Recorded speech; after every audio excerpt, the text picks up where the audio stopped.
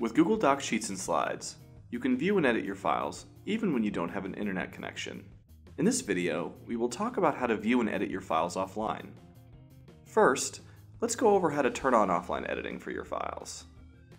On the web, you can make your files available to work offline by using a Chrome browser.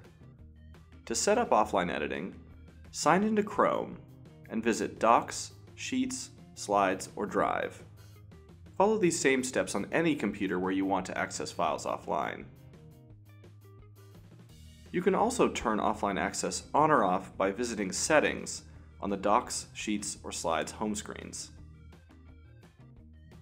Once offline syncing is turned on, there are a number of ways to open your files when you don't have an internet connection.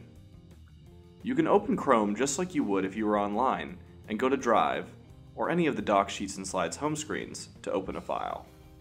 Or, if you have Google Drive installed on your computer, you can open files directly from your Google Drive folder when you're offline. No matter which way you open them, all of your recently updated files will be available for you to work on when you don't have internet available.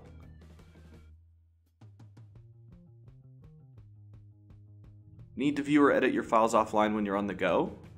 Simply download the Drive, Docs, Sheets, or Slides app on your mobile phone or tablet. You can make them available offline there as well. For more information about making files available offline in Google Drive, go to the Drive Help Center at support.google.com forward slash drive. Or, for the Google Docs editors, go to support.google.com forward slash docs.